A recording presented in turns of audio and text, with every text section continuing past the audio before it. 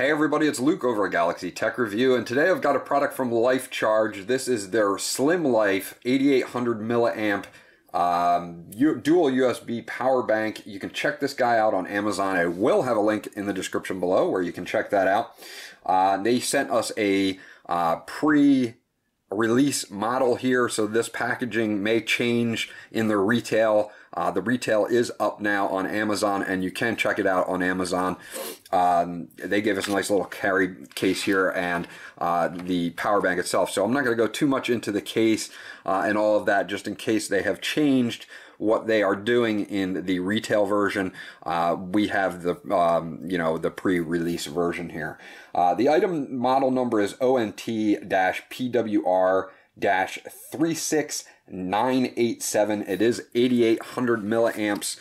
Uh, you can check it out. It's very nice and compact. If I can get it out of the package. There we go.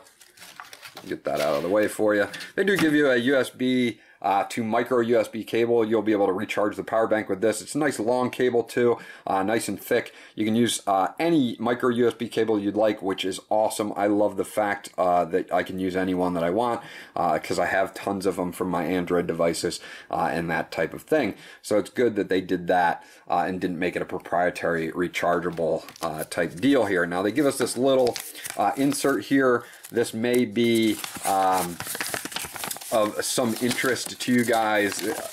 They do have some of the uh, statistics here. You know, if your if your phone has a battery capacity of X, this is uh, will recharge it up to you know X amount of times, that type of thing. Um, and they know different uh, levels here. Uh, what I can tell you is that I have a Galaxy Note 4 that has a 3200 milliamp battery in it, and I was able to eke out two full charges on it, uh, maybe have a little bit left over, and uh, that's really good from for for an 8800 milliamp battery. It did very well in our recharge test, so that was excellent by um, LifeCharge in our testing.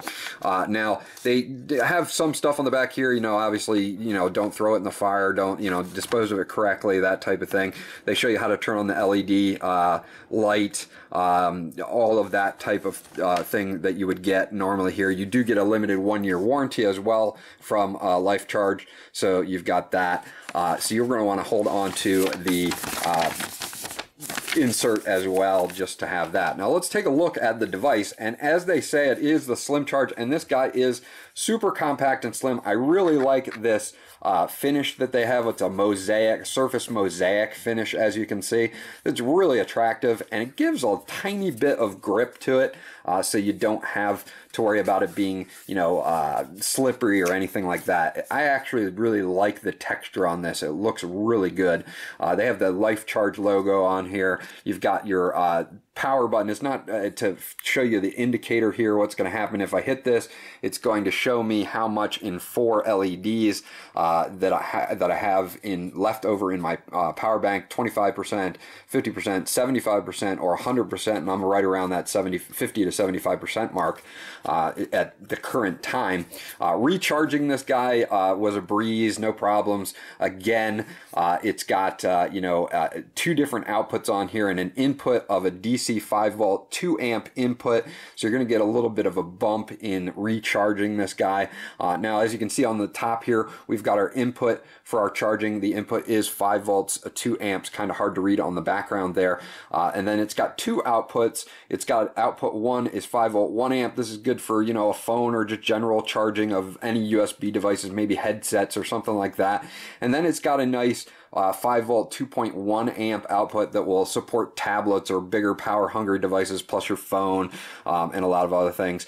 You've got your uh, LED uh, right there and I believe if I double tap on this guy I should get my torch to come up if I can do it behind the camera so give me just one second here. Uh, hold it down.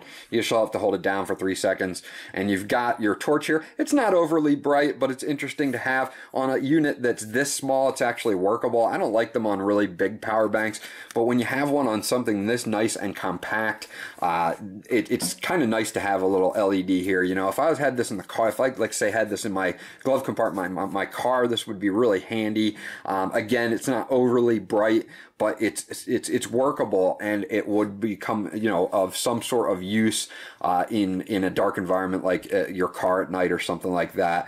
Uh, just hold it down again for two to three seconds to shut it off. Uh, now, as far as the build quality goes, we looked at all the seams and all the seams line up. They did a great job of putting this together. it, it is all plastic, but as you can hear, there's no creaking uh, or anything like that. Uh, it's a very solidly put together device with no seams out of place here. I like the white and black motif that they've got going on, and again, I certainly like the mosaic uh, pattern that they have here on this. This is not a sticker. This is actually how the plastic looks. And it looks really, really cool uh, and gives you a little bit of that grip. So overall, I think LifeCharge did a great job with this. You get dual USB outputs for uh, supporting uh, simultaneous charging of, of more than one device at a time.